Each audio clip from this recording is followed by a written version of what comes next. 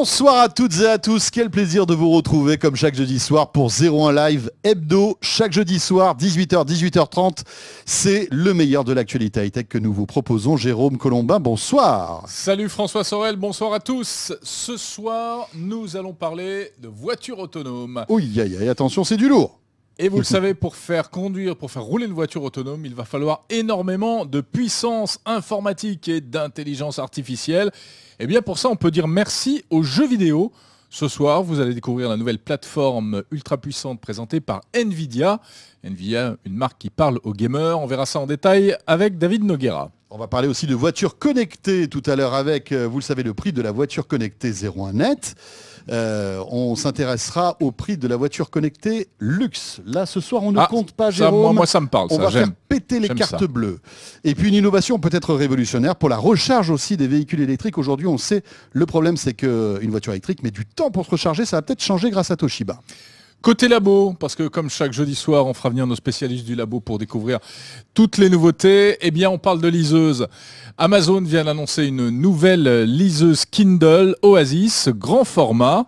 Vous allez la découvrir dans 01 Live avec les explications du porte-parole d'Amazon France. Et puis une grosse surprise côté smartphone de la part d'une marque française qu'on n'attendait plus.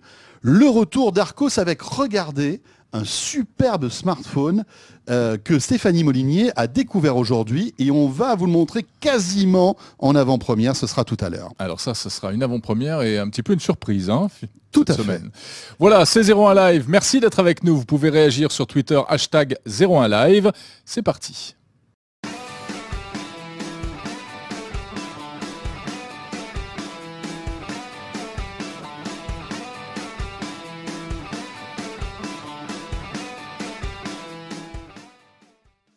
Pas surtout. Et pour débuter, bien sûr, vous le savez, chaque euh, jeudi soir dans 01 Live Edo, il y a la question 01 Net Orange. Et bien sûr, en ce jeudi soir, on n'oublie pas. Mais aujourd'hui, on parle de liseuses, donc. Euh, les Oui. liseuses numériques vous donnent-elles envie de lire plus? Euh, Dites-le nous. Pour cela, vous allez sur www.01nettv.com et vous répondez à la question 01net Orange. Oui ou euh, pas particulièrement. Donnez-nous votre avis, on fera le point tout à l'heure. Bah, tu sais quoi, je vais donner mon avis maintenant. Parce On s'en vrai fiche. que je trouve que quand on part en vacances, au lieu d'apporter 3-4 livres dans la valise qui sont lourds, tu prends ta petite liseuse, tu télécharges tes bouquins et tu les as donc dans quelques dizaines de grammes. Ça, c'est top. Donc forcément, tu lis plus. Eh oui, Surtout en vacances. Surtout Voilà. toi qui lisais aucun livre avant. Et Donc, ben euh, voilà, maintenant, ça, tu vois, bien. je change.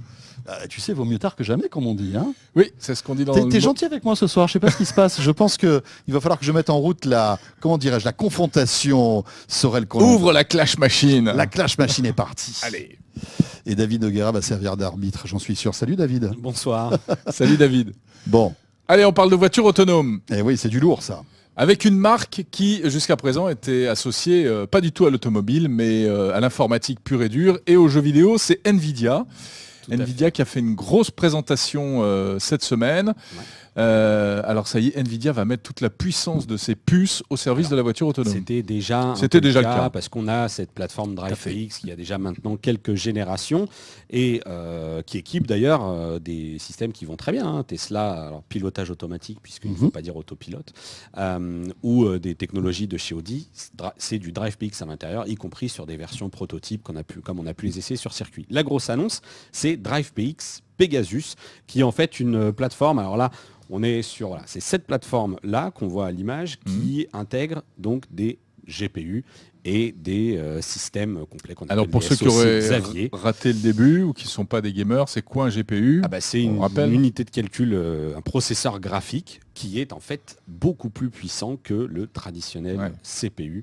Et euh, d'ailleurs, euh, c'est rigolo parce que euh, Jensen Huang, le CEO de chez Nvidia, s'est quand même un peu amusé à comparer la consommation énergétique et le volume qu'il faut pour, en termes d'ordinateur classique, pour confronter son GPU à euh, de l'artillerie traditionnelle. Et du coup, c'était assez drôle parce que ça donnait des gros coffres de voitures avec plein d'heures Oui, d'ordinateurs c'est ce dedans qu'on a pour la conduite vu autonome. jusqu'à présent, c'est Bah ce oui. qu'on voyait. hein, et après, une réduction euh, considérable avec juste cette plateforme DrivePX2, DrivePX Pegasus en l'occurrence. Bon, ça c'est bien pour l'image, mais quand même, ce qui est sûr, c'est que si les constructeurs auto utilisent tous ces gros trucs, c'est justement pour avoir de l'équipement traditionnel qu'ils peuvent facilement remplacer en cas de panne, etc. Ah oui, donc ça consomme beaucoup d'énergie, mais c'est aussi parce que c'est de la R&D et donc ils doivent pouvoir Voilà, ça c'était avant, on va dire. Voilà, ça Bon, c'était avant, c'est en fait act- c'est T'as pas actuellement. intérêt à Et vouloir ça, c'est demain. Hein. c'est demain, c'est après. Demain. Et on en a vu des voitures avec, euh, avec ce genre de, de, solu- de solution où, pour se faire une idée, c'est à peine plus gros qu'une boîte à chaussures. hein. Donc, et par contre, l'artillerie,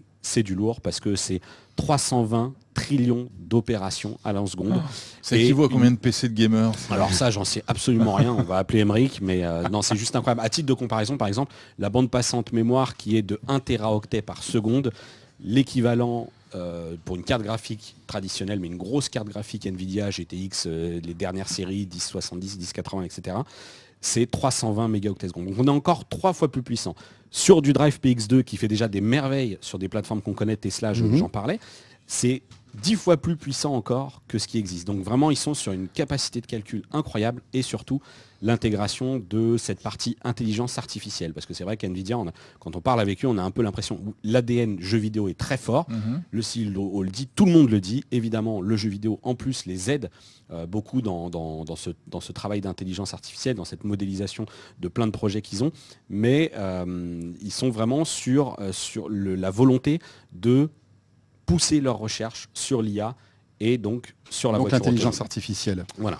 Parce que c'est vrai que pardon, l'IA est au cœur de la voiture autonome. Ah oui, hein. bah, il Voilà. faut la rendre intelligente pour qu'elle puisse comprendre ce qui se passe autour d'elle, comment Mhm. elle doit réagir, et ça très très rapidement. Et toute cette puissance informatique sert à tout ça, en fait, c'est ça Et exactement, parce qu'on a des, on a des constructeurs qui essaient déjà, qui, f- qui font des, des- qui lâchent complètement les véhicules, qui les laissent circuler, et donc les voitures roulent seules. Mais pour le véhicule de série qui n'aura plus de pédale, qui n'aura plus de volant, il faudra arriver sur une telle puissance de calcul pour, euh, pour être sûr qu'il n'y ait pas de faille. Alors, bien évidemment, ils le disent aussi, il y aura toujours des bugs logiciels, il y aura toujours des bugs matériels, mais on a une plateforme suffisamment puissante pour réagir en conduite autonome. Et quand on, ce qui est rigolo, c'est quand on leur demande Ok, mais alors, si vous, avez, si vous lancez Pegasus, mi-2018, donc finalement ça va arriver assez Oui, rapidement, c'est rapide. Est-ce que pour vous, les autres travaux vont maintenant être focusés uniquement sur le software? Est-ce que vous allez aider un petit peu les constructeurs et, et rentrer dans le bain de bah, il faut que les législations changent, etc. Mm. Et ils savent dire non, notre boulot du hardware, il n'est pas terminé, on va le faire évoluer, mais nous, on veut vraiment proposer une solution voiture autonome de A à B, et ça, ça passe pas juste par Pegasus, ça passe par l'IA, ça passe par euh, euh, les- l'applicatif à l'intérieur logiciel euh, du véhicule, comment on va aussi occuper les passagers à bord, Oui, l'infodivertissement, etc. Mm. Ouais, c'est tout ça. C'est pour ça qu'on avait vu une voiture euh, autonome Nvidia euh, au CES de Las Vegas. Enfin, en tout cas, brandée Ouais, Nvidia. tout à fait, mais qui était euh, du coup déjà fonctionnel et qui avait déjà Drive PX2 avec le SOC, donc qui est un système tout en un, on va résumer Mm. ça comme ça, qui s'appelle Xavier, qui est un système qui est capable en plus de lire sur les lèvres et d'analyser le visage du conducteur. C'est-à-dire que si le conducteur, quand on n'est pas en phase de conduite autonome, commence à montrer des signes de faiblesse au niveau des paupières ou s'il est trop distrait, ça analyse la trajectoire des yeux et ça peut envoyer des messages d'alerte. Donc ça, c'est vraiment euh, assez, assez impressionnant. Juste une petite question, parce que le, le- celui qui est légitime dans ce domaine-là, c'est Intel aussi, qui fournit de la puissance processeur depuis que des années. Font on a l'impression qu'ils sont moins présents malgré Alors, tout Intel- que, euh, que Nvidia. Intel est présent avec euh, notamment des technos et des choses qu'ils ont racheté du côté de chez Mobileye. On a fait une, enfin on a essayé, on en a parlé aussi ici, mais c'est sur 01net.com et 01net TV. On a une vidéo où on a essayé une Audi aussi, c'est rigolo, mais équipée par Delphi et Intel, et ça fonctionne aussi très bien. Euh, après, c'est vrai que l'attirail était plutôt bien dissimulé dans le, dans le plancher du coffre. Là, il y a une guerre qui s'annonce, c'est sûr, puisque Intel, évidemment, ils sont pas là non plus pour euh, entre guillemets enfiler des perles. Ils ont aussi des reins- les reins solides Mhm. pour. euh, En termes de puissance pour, euh, processeur et de évidemment. puissance de calcul. mais voilà, et donc il faut vraiment Hmm. L'idée de, de- Là, il y a un match qui s'annonce. Qui de Intel ou d'NVIDIA aura Mhm. la solution la plus complète A à B? Parce que vraiment, je pense que les constructeurs, évidemment, ils auront leur cahier des charges.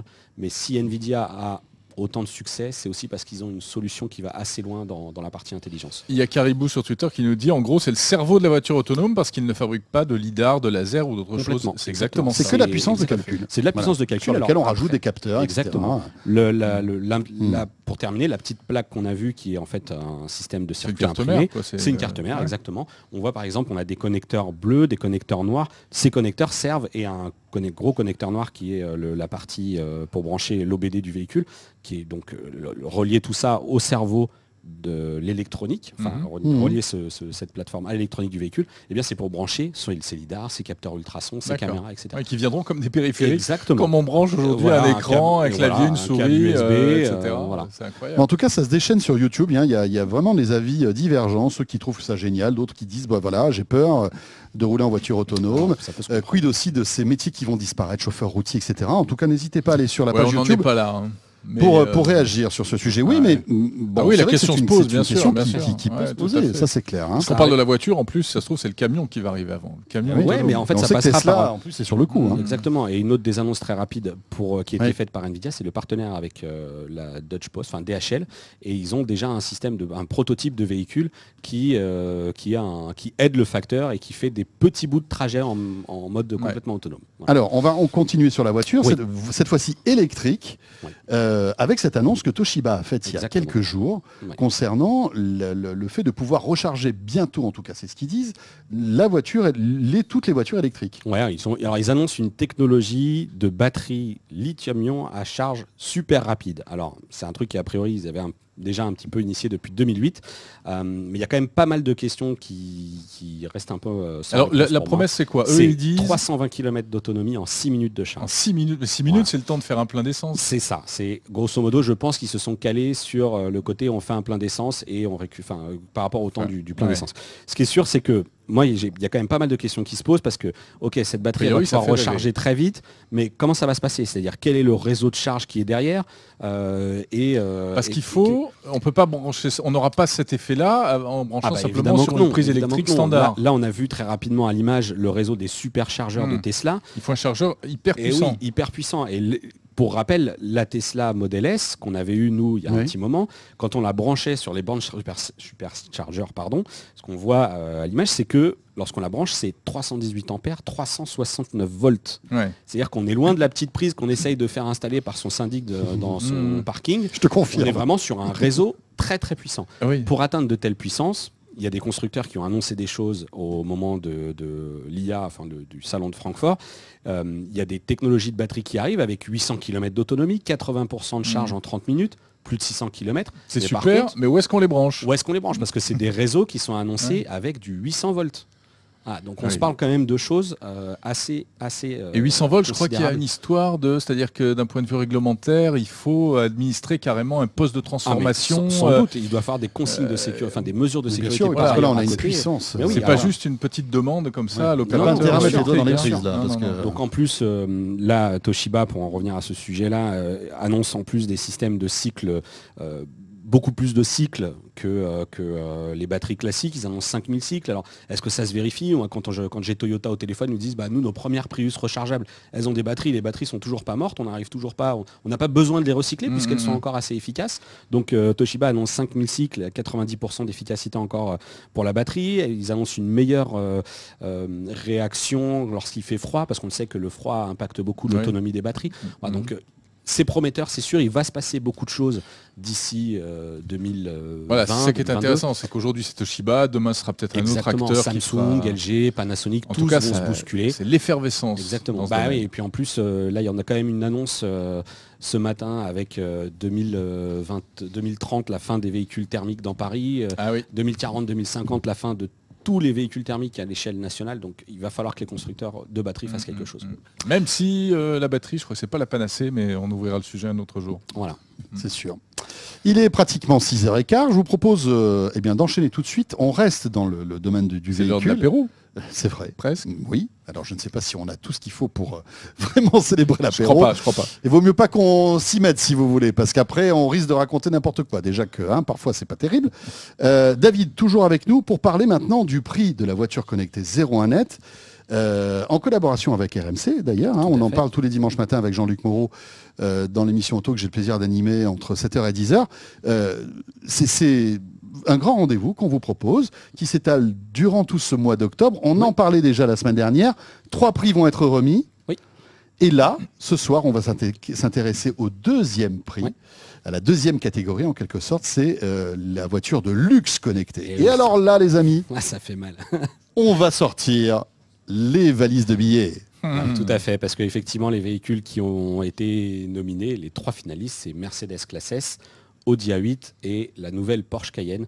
Donc forcément, le ticket d'entrée doit être à, est à environ 77 000 euros pour euh, Porsche Cayenne et puis plutôt 92-94 pour Audi A8 et Mercedes Classe S. Donc des très très belles voitures à la pointe de la technologie, des choses incroyables.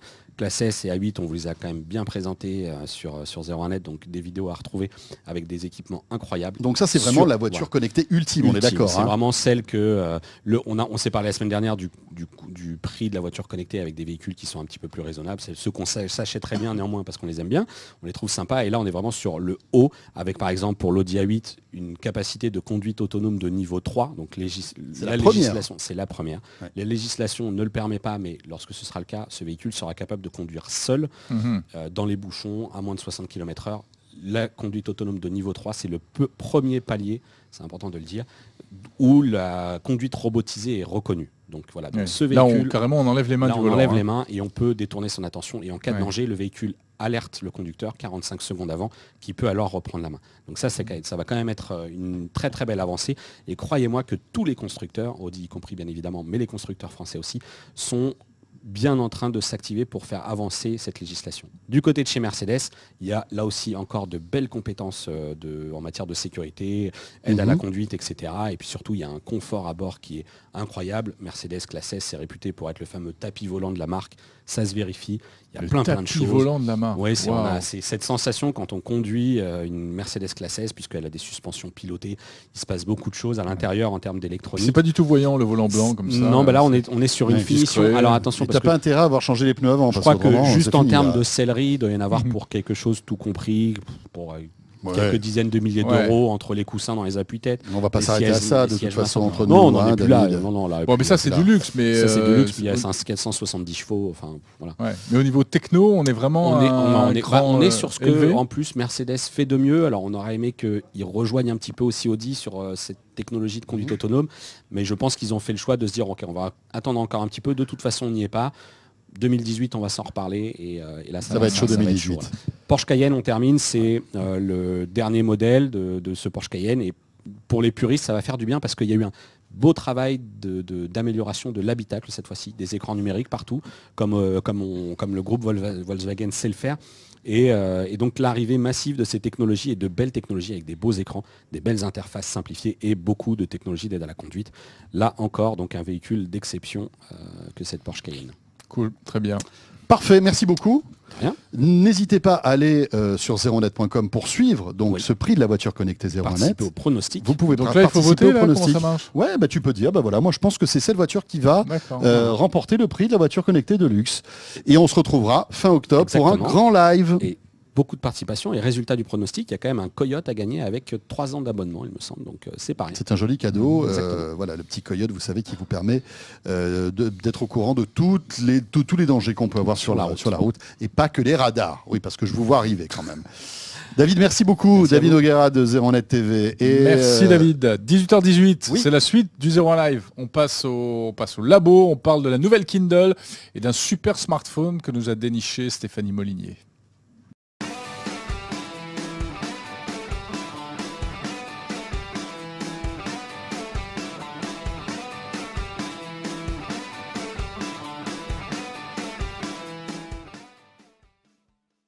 Et la question 01net Orange, Jérôme, on parle de liseuse, on va en parler dans un instant, tiens. La question 01net Orange du jour, c'est à propos des liseuses. Est-ce que les liseuses numériques euh, vous poussent à lire plus? Je ne sais pas si on peut voir la petite question. Euh, où en sommes-nous? Il y a une tendance? Ah ben non. Oui, pas particulièrement. 35%. Oui, moi j'allais dire pas particulièrement à 65%. En effet. Bon, vous pouvez continuer à voter. www.01nettv.com Dites-nous, tiens, euh, zeronet.com, tu le disais. Tiens, mais justement, euh, pourquoi on, vous euh, sollicite avec cette question? Eh bien, parce que Amazon, le géant du commerce, a annoncé sa nouvelle Kindle, Jérôme. Une Kindle qui a une particularité, c'est un grand écran. Oui, et c'est la première fois chez Amazon qu'on a un écran de 7 pouces. Alors la voici, elle ressemble sinon à l'ancien, au modèle précédent qui était la Kindle Oasis. Euh, qui était déjà assez révolutionnaire en, termes de design. Hein. Oui, et d'autonomie aussi, puisqu'on était euh, à 8 semaines d'autonomie avec la mmh. Kindle Oasis. Celle-ci, elle a un peu perdu en autonomie. On passe à 6 semaines, mais ce qui est déjà énorme. Hein. ça veut dire que vous pouvez laisser tranquillement votre partir en vacances presque en oubliant votre chargeur. Elle est Euh, rétroéclairée, bien sûr. Elle a pas mal d'avantages. Et on, va rentrer un petit peu dans les détails tout de suite avec Antoine, de- Antoine Dreyfus, qui est euh, le responsable Kindle euh, Europe d'Amazon et qui nous explique pourquoi ce choix maintenant de ce grand écran 7 pouces. C'est la première fois qu'on est sur cet écran 7 pouces. Kindle était resté très fidèle à l'écran euh, 6 pouces jusqu'à présent. Maintenant, on a un écran 7 pouces ce qui offre un, avantage, un, un confort de lecture supérieur. On peut mettre jusqu'à 30% de mots en plus sur chaque page. Ça veut dire aussi que vous allez tourner les pages moins souvent.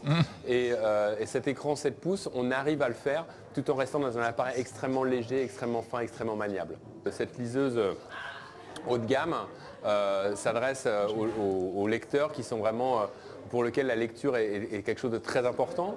Effectivement, vous l'avez signalé, on offre euh, maintenant sur euh, cette nouvelle Kindle Oasis une version 32 Go qui va s'adresser aux personnes qui lisent énormément, énormément de contenu, parfois même des fichiers un peu plus lourds hein, d'un point de vue numérique, comme des bandes dessinées, comme des mangas par exemple, qui euh, remportent un, un grand succès euh, euh, en France, dans d'autres pays et- et notamment sur Kindle. Voilà la nouvelle Kindle Oasis euh, étanche, donc. hein, euh, elle résiste à l'eau. Vous voulez les prix? Allez, vas-y, balance les prix. Va. Euh, Parce qu'il y a- ouais, il y a 200. plusieurs, euh, Oui, il y a- a catégories, plusieurs. Alors en 8 Go, elle est à 200. En 8 Go Wi-Fi, 249 euros. En 32 Go Wi-Fi, 279 270 euros.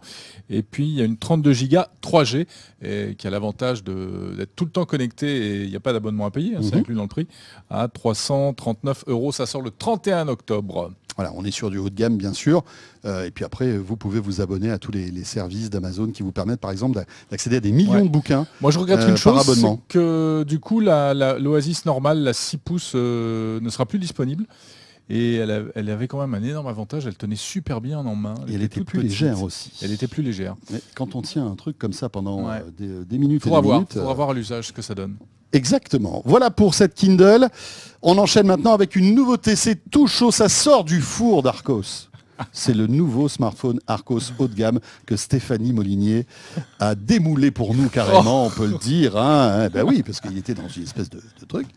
Bonjour Stéphanie. Bonjour. Bonjour Stéphanie. C'est les images de François Sorel. C'est beau. Hein, Eh ben oui, on parle de four. Il en général, des- il y a un gâteau, il faut Non, mais il démouler. a, il a suis des désolé. fantasmes de pâtisserie et de boulangerie. Ah oui, oui, mais c'est euh, peut-être parce que je commence ça. à avoir un peu faim. C'est possible. Stéphanie, euh, Arcos, on s'inquiète. Alors, entre nous, on s'inquiétait un petit peu quand même. Avec Jérôme, C'est euh, vrai. C'est vrai que, bon, voilà. On se disait, bon, les trottinettes, c'est bien. Les c'est bien, mais bon, euh, Petit voilà. smartphone d'entrée de gamme, c'est amusant. Mais là, on a l'impression qu'il passe à la vitesse supérieure. Et carrément, il y a quelques semaines, euh, cet été, je crois, euh, ils avaient annoncé leur partenariat avec le constructeur Nubia, qui euh, fait de très beaux smartphones, Qui appartient Euh, à ZTE. qui d'ailleurs. appartient à ZTE, voilà, exactement, grand constructeur chinois. Et euh, ils avaient sorti des modèles qu'on avait testés, qui étaient euh, plutôt d'un bon rapport qualité-prix, euh, plutôt sympathiques. Et là, la surprise, aujourd'hui, euh, Arcos vient de lancer un smartphone ultra haut de gamme. Ultra haut de gamme. Ah mais ultra ultra, haut je crois qu'on peut dire. C'est- joli Puisqu'en fait, Ouais. sur ce Écran bord à smartphone, bord. on trouve un écran bord à bord, euh, donc 5,7 pouces. Mais on trouve également le processeur Snapdragon 835, qui est quand même le processeur le plus rapide du moment, avec 8 Pas mal. Go de mémoire vive. 8 gigas de mémoire vive. C'est énorme. Ah ouais, ouais. Et dernière euh, petite chose importante, c'est qu'il y a deux doubles modules photo. C'est un peu comme les, les- les lames de rasoir. Voilà. c'est ça. Exactement. Donc un double module à l'arrière et un double module le smartphone à qui vous l'avant. rase de près, en fait. Donc ça. Donc là, ça fait quoi Le mode portrait en selfie, c'est ça? Alors c'est pas du mode Ah. portrait, Ah, c'est pas sert, alors le- euh, bah, voilà. Donc euh, pour euh, pour l'arrière, c'est un capteur principal de 12 mégapixels, Mhm. c'est lui qui va euh, prendre la lumière, euh, qui va euh, gérer tout ce qui est autofocus, etc. Et le second cap- capteur qui est de 23 mégapixels et là en fait pour apporter des détails pour enrichir la photo. Ah Et donc arriver euh, par un, un algorithme, arriver à une photo euh, parfaite. Enfin, on l'espère pour eux. hein, On vous dira ça quand on pourra tester euh, l'appareil. Euh, mais en attendant, on est sur un équipement qui finalement euh, bah, n'a rien à envier à celui du OnePlus 5 qui dans sa version Snapdragon euh, 835, 8 Go de mémoire vive et 128 Go d'espace de stockage est vendu 559 euros. Donc là, on, Or, est, on est un peu celui d'Arcos est à 499 euros. mal. 99. Waouh, waouh. C'est-à-dire qu'on a vraiment un smartphone haut de gamme qui tombe sous la barre des 500 euros. Et quand on dit haut de gamme, c'est très haut de gamme. C'est-à-dire qu'on se retrouve là avec le, le top du top en, en termes de, de- de composants. Ouais. Euh, le, le- le- le- voilà, le processeur le plus puissant du moment. 8 Mhm. Go de RAM, c'est c'est rarissime quand même dans des smartphones hein, Bah, aujourd'hui. ça, ça commence, ça un peu un mais voilà. Mais, mais c'est euh, vraiment. quand même, ça reste assez et rare. ça permet donc d'avoir une fluidité à toute épreuve. Hein, 8 Go de RAM. Logiquement, bon, il nous a semblé euh, bien réactif et euh, quand même, ce serait difficile de. Et Nubia qui n'est Pas qui n'est pas disponible en France, on avait pu jouer avec euh, pas mal de Nubia sur le, à Barcelone au Oui. Mobile World Congress. Ils avaient un Et Il y super avait stand des démos en photo et franchement, euh, ils avaient déjà à l'époque, c'était Tu il a avec un an et demi Nubia, ou deux ans. Comment Christopher jouait avec les Nubia. Bah oui, bien Oui, sûr, c'est hyper intéressant Bah de oui, jouer avec des sûr. téléphones, euh, des bons téléphones qu'on n'a pas en France. Et en photo, ils avaient déjà Oui, une bonne année et demie de Mais, longueur d'avance Alors sur pardon, les juste le double capteur, il apporte juste des belles photos quoi. Voilà, Mais exactement. Il n'y Il a a pas, il a euh, d'effet bokeh, il n'y a pas de. non, non, il n'y a, il y a Ouais. pas de, de mode particulier. pas de fioriture. euh, voilà. Bon, en tout cas, si déjà on a des belles, des belles photos, que ce soit avec Mm. un capteur ou deux capteurs, moi je dis Oui, c'est pas mal. On- il faudra tester euh, quand on Mm. recevra l'appareil. Bon, le capteur d'empreinte à l'arrière, hein, ça, Mhm. bon, voilà, il faut aimer Avec l'écran on sans aime ou on bord, n'aime pas, pas. le choix. Euh, juste, on, on a l'impression que c'est véritablement un Nubia avec Ouais. un logo Arcos à la place. On est d'accord, Stéphanie? Oui, bah, c'est voilà, un partenariat. Le, voilà. le En plus, il y a le, constructeur. euh, cerclage rouge autour du capteur et puis le petit bouton home euh, Mhm. rouge qui est. On- on qui est retrouve les- Nubia, les c'est codes marrant. design de- Si vous de pouvez vous Nubia. m'enlever Nubia, vous mettez Arcos Non, à la place. un peu quoi. ça, c'est non, vrai. mais c'est ça, c'est ça. Mais l'avantage, c'est que ça nous amène des produits alors, sous la marque Arcos, certes, Oui. Mais, euh, Mais bien des fini. produits en France. et haut de gamme. Voilà. Espérons que voilà, ça donne un petit, voilà, un- une relance un peu d'Arcos hein, qui en a bien besoin. Euh, Stéphanie, merci. Merci à Merci vous. Voilà. Stéphanie. Il Ouais. nous tarde d'avoir ce téléphone euh, en test. hein. Il arrive bientôt là. On espère le recevoir courant de semaine prochaine ou la On semaine vous tient au courant, bien Parce que sûr. la disponibilité de l'appareil euh, à un niveau commercial, c'est euh, plutôt mi-novembre. D'accord.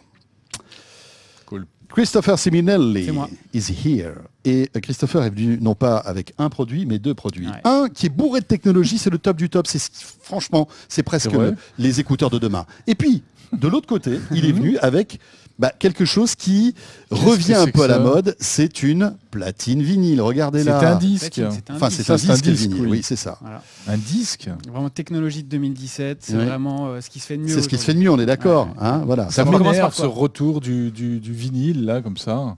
Attention. Ça m'énerve. Attends, ça m'énerve. parce que j'ai bazardé tous les miens. Ah, voilà, c'est ça qui t'énerve. Ça qui Il les a vendus à la brocante, 1 Mais euro oui. les 100. Mais non, et mais là on a mis des années à se débarrasser de ces trucs qui, qui, qui prenaient de la place, qui prenaient la beau. poussière, qui Regarde comme crachouillaient.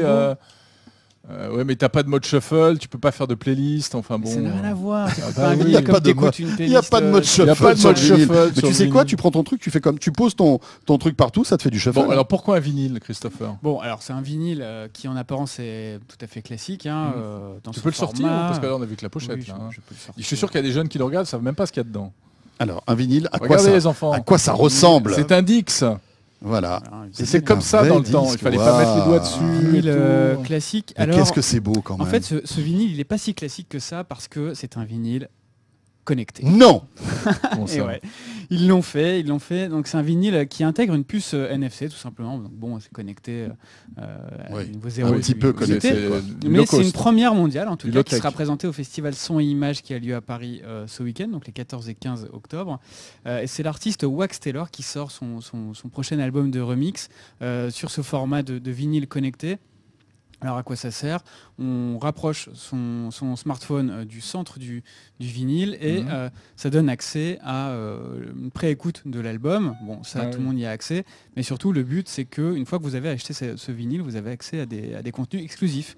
Et oui, c'est un petit bonus. voilà, genre c'est un QR petit code, bonus et on nous promet un- un- un- des interactions avec, avec l'artiste via une, une plateforme. Bon, pourquoi pas, c'est marrant pour créer du lien. Technologiquement, c'est pas non plus euh, un Non. truc de dingue, on est d'accord, hein, ça reste une puce NFC euh, euh, coincée entre les, les deux couches du, du- du disque, mais c'est une approche plutôt différente ils surfent sur le retour quand même du, du vinyle.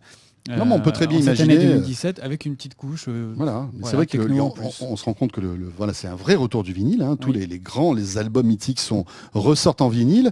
Euh, avec cette, cette- cette petite puce NFC, on pourra avoir du contenu supplémentaire ou des clips. Mm. ou enfin, ça nous évite de. C'est un, raccourci ça. en quelque sorte. Ouais, c'est une manière ludique aussi de, de créer du On lien avec, euh, avec l'artiste. Bon, Bon. Et Bah, ça, ça coûte combien Tiens, ça coûte Bah, plus cher pas, que. pas beaucoup plus cher qu'un qu'un vinyle classique, euh, 25 euros. Euh, ça peut paraître cher aujourd'hui quand on parle d'album. euh, Faut le payer en à- pièces. à Tu n'as pas 10 le prix en francs, non Mais euh, 25 euros, c'est le prix d'un- nouvel album, d'une sortie vinyle aujourd'hui à la FNAC ou dans d'autres magasins.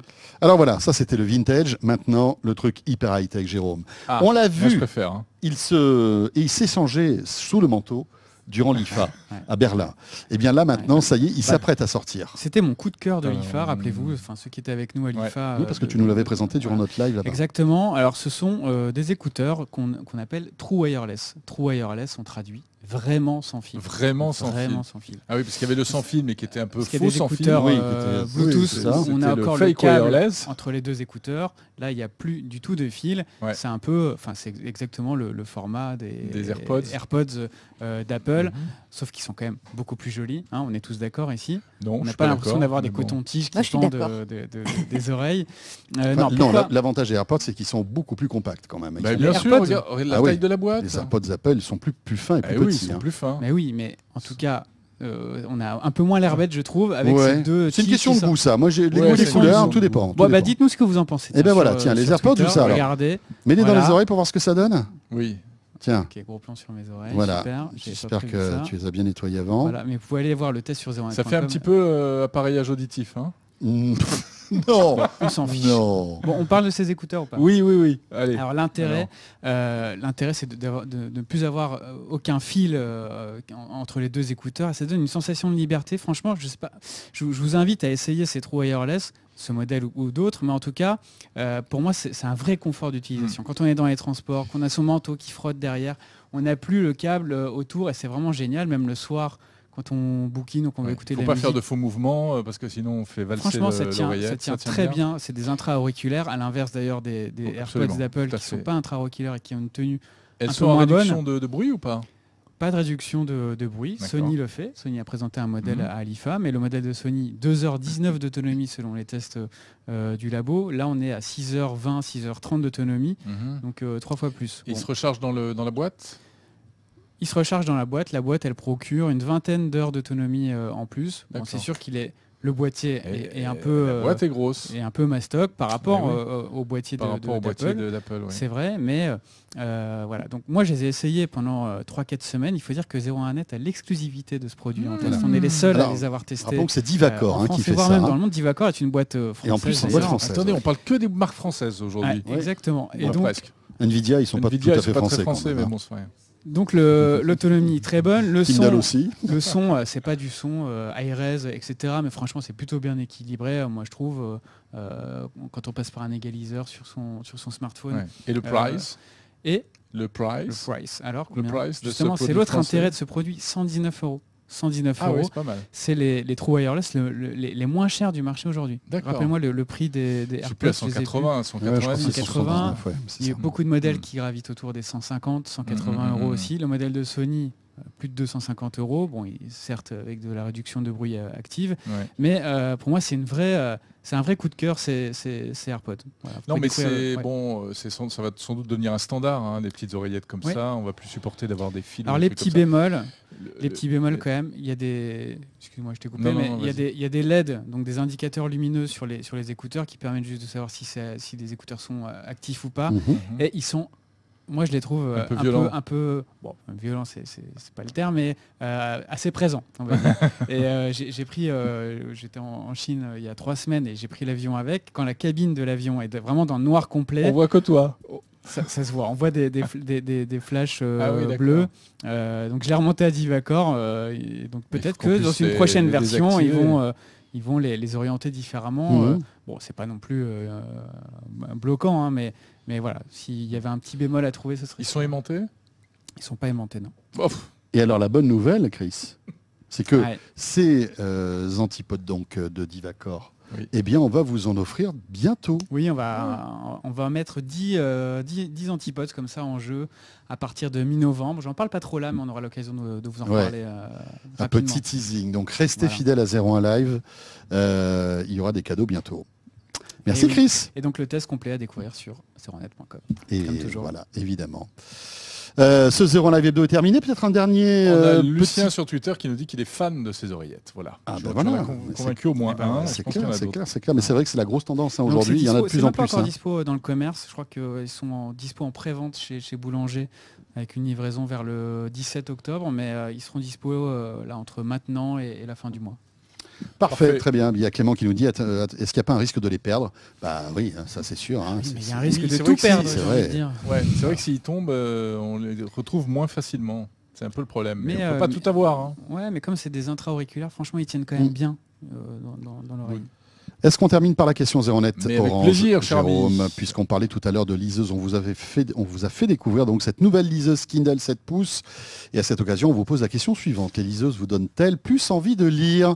Eh bien, c'est euh, Bah non, hein, toujours non, enfin pas particulièrement à 68% et 32% de oui. Alors pourtant, il faut savoir que euh, c'est ce que nous disent les fabricants de liseuses depuis de longues années.